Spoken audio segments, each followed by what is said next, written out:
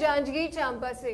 संकुल केंद्र तागा में, कबाड़ में, जुगाड़ कार्यशाला के तहत नवाचारी शिक्षक शिक्षिकाओं के टीएलएम निर्माण को लेकर प्रतियोगिता सह कार्यशाला का आयोजन किया गया, जिसमें मुरली कंजी तागा व पौन ग्राम के प्राथमिक व मिडिल शाला स्तर के शिक्षक शिक्षिकाओं ने गणित, विज्ञान, अंग्रेज़ी से संबंधित कबाड़ से जुगाड़ के तहत टीएलएम का निर्माण कर प्रदर्शनी व स्टॉल लगाया।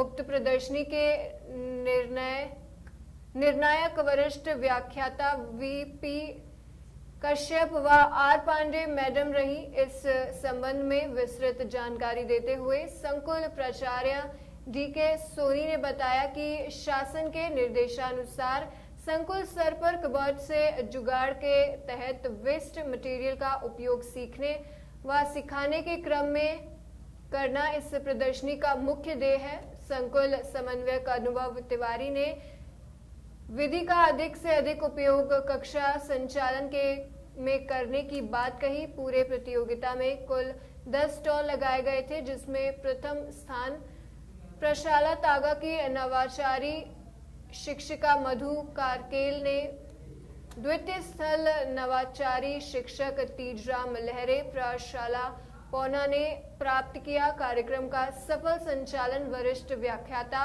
रामनाथ खरे के द्वारा व आभार प्रदर्शन प्रधान पाठक एलपी पांडे ने किया इस अवसर पर निशी शर्मा, मुरली डी कंजी प्रभात उपाध्याय, शांति साहू, नंदलाल साहू, रविशंकर कौशिक, तागा ओपी मंसार, मानसर प्रधान पाठक पोना आर शर्मा, जितेंद्र यादव, डाली साहू द्रौपदी मानिकपुरी, प्रीति पांडे, किरण साहू, चित्रलेखा मरावी, श्यामा टैगोर सहित शिक्षक शिक्षिकाएँ उपस्थित रहे।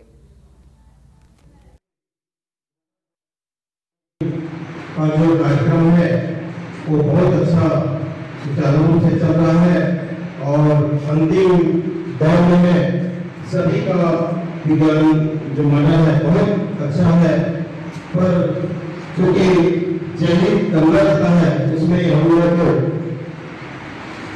थोड़ी सी दुविधा विज्ञान प्रदर्शनी का जो कार्यक्रम है, वो बहुत अच्छा सुचारू रूप से चल रहा है और अंतिम दौर में सभी का विज्ञान जो मज़ा है, बहुत अच्छा है।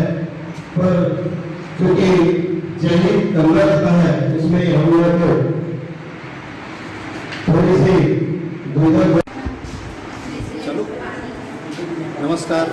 आज हमारे तागा हाई स्कूल में कबाड़ से जुगाड़ कार्यक्रम संकुल स्तरीय रखा गया है, जिसमें संकुल के अंतर्गत सात विद्यालय यहाँ पर प्राथमिक शाला और चार मिडिल स्कूल का कबाड़ से जुगाड़ कार्यक्रम का प्रदर्शनी कार्यशाला रखा गया है, जिसमें सभी शिक्षक शिक्षिकाएँ अपने से जुगाड़ जो भी सहायक सामग्री तैयार किए हैं, उनका यहाँ पर कार्यशाला का आयोजन किया गया है।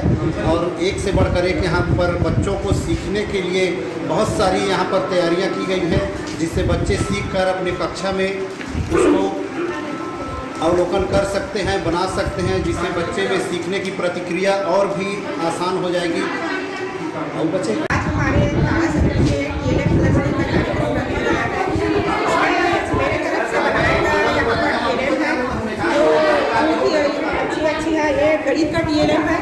जिसमें बच्चे एक से दस तक गिनती सीखेंगे और साथ ही साथ में सभी चीज़ों को यहाँ पर दिखाया गया है यहाँ पर हिंदी वर्णमाला का टीएलएम है हिंदी वर्णमाला का टीएलएम है जो बच्चे आ से स तक पूरा सीखेंगे इसमें किस प्रकार से हम व्यंजन को क वर्ग से च वर्ग से इसको टीएलएम के माध्यम से यहाँ पर बताया गया है किस तरह हम बच्चों को अपने हिंदी वर्णमाला को बता सकते हैं पूरा यहाँ पर दिया गया है कैसे हम ओष्ठ के द्वारा दांत और ओष्ठ के द्वारा उसमें व्यंजन और संयुक्त व्यंजन को यहाँ पर दिखाया गया है हरे।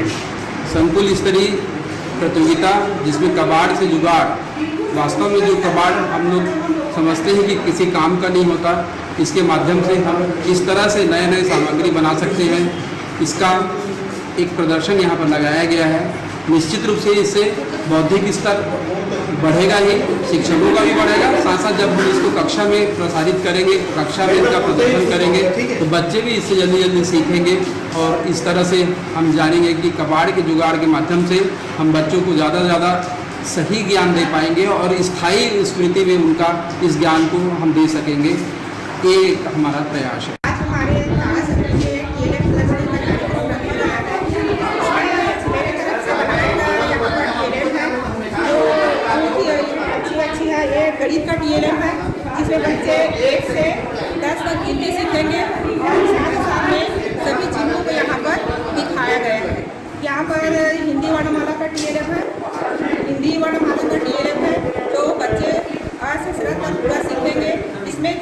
प्रकार से हम व्यंजन को क वर्ग से च इसको टीएलएम के माध्यम से यहाँ पर बताया गया है। किस तरह हम बच्चों को अपने हिंदी वर्णमाला को बता सकते हैं। पूरा यहाँ पर दिया गया है कैसे हम ओष्ठ के द्वारा, दांत और ओष्ठ के द्वारा उसमें व्यंजन और संयुक्त व्यंजन को यहाँ पर दिखाया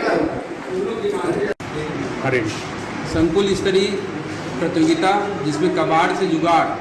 वास्तव में जो कबाड़ हम लोग समझते हैं कि किसी काम का नहीं होता। इसके माध्यम से हम किस तरह से नए नए सामग्री बना सकते हैं। इसका एक प्रदर्शन यहाँ पर लगाया गया है। निश्चित रूप से इससे बौद्धिक स्तर बढ़ेगा ही, शिक्षकों का भी बढ़ेगा। साथ साथ जब हम इसको कक्षा में प्रसारित करेंगे, कक्षा में इसका प्रदर्शन करेंगे तो बच्चे भी इससे जल्दी जल्दी सीखेंगे और इस तरह से हम जानेंगे कि कबाड़ के जुगाड़ के माध्यम से हम बच्चों को ज़्यादा से ज़्यादा सही ज्ञान दे पाएँगे और स्थायी स्मृति में उनका इस ज्ञान को हम दे सकेंगे। ये एक हमारा प्रयास।